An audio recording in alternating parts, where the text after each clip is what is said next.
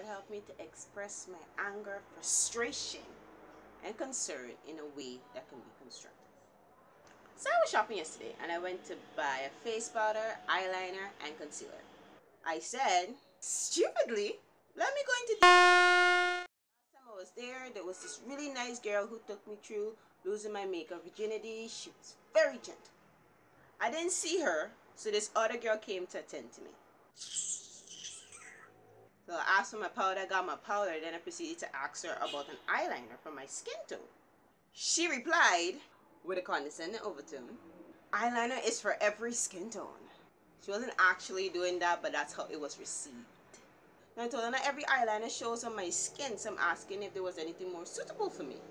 And she replied, eyeliner is for every skin tone. Why don't you just tell me what you want? I said, that's what you're here to tell me. And she said, no, you need to come in here knowing what you want. And I'm like,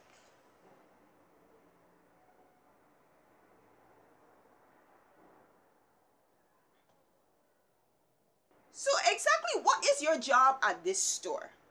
You're a sales attendant. You're here to attend to my needs. So if I have a question, you answer my questions. You do not give me back talk. You answer my questions. You answer them politely. Politely with your best face, even though I don't think that's possible. And I don't even understand what was the base for your reaction. Did I come with an attitude? Was I impolite? I am polite. I'm a polite person. This is not me.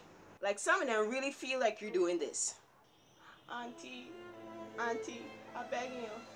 Please for eyeliner, no? Please for eyeliner, no? Oh gosh, give my eyeliner. Please for eyeliner, auntie. Auntie, give my eyeliner, no, man. Please. I need this eyeliner. Because not like I have money here, but I just need this eyeliner. Because this money means nothing. It doesn't deserve any respect. I'm sorry. Didn't I bring my money? Didn't I bring my flapping money? Alright. So I gotta pay extra for customer service too? I find this happening way too often. Sales attendants with very nasty attitude.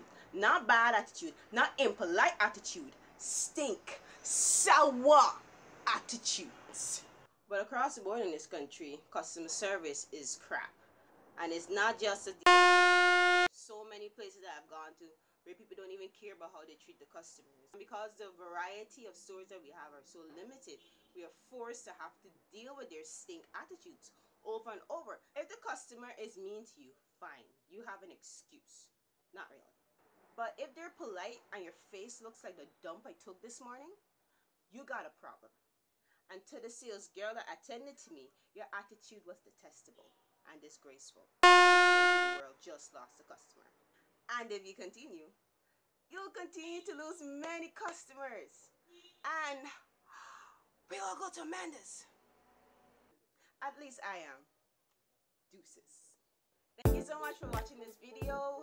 I'm not this person. In general, I like to promote good things, but the customer service in this country really, really, really has some work to do.